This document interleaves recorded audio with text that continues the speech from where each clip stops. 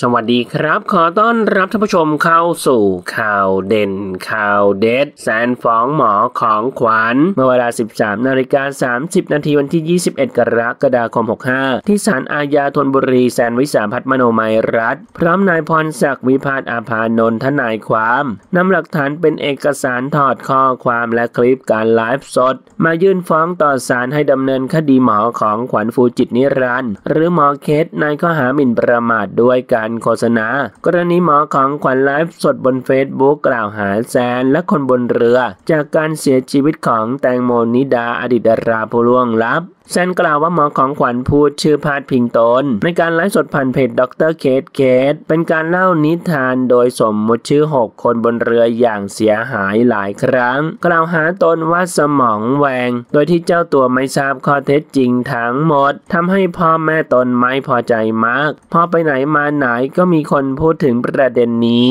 ทั้งที่เคยเล่ารายละเอียดต่างๆ ให้หมอฟังไปแล้ว แต่มาพูดเรื่องที่ไม่จำเป็นไม่เป็นประโยชน์ต่อสาธารณะ มีแต่เรื่องสนุกปาก แม้ไม่ได้ทำให้สาระสำคัญเกี่ยวกับคดีต้องเปลี่ยนแปลงไป แต่แรกก็ไม่ได้คิดจะฟ้องร้อง โดยมีการพูดถึงกระติกในทางที่แย่เกินไป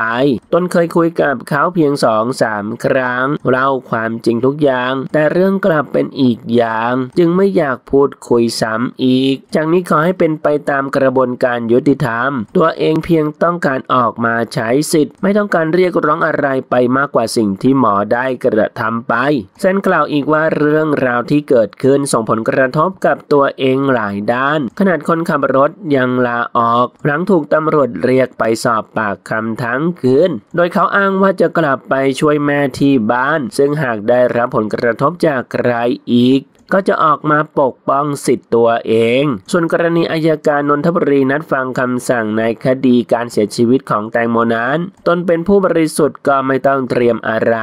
นายพรศักดิ์กล่าวว่าได้บันทึกข้อมูลการไลฟ์สดไว้เป็นหลักฐานในการฟ้องร้องหมอของขวัญในข้อหาหมิ่นประมาทด้วยการโฆษณา ซึ่งการเล่านิทานดังกล่าวได้แทนชื่อบุคคลบนเรือ แต่บุคคลทั่วไปที่ฟังแล้วก็ทราบว่าเป็นใคร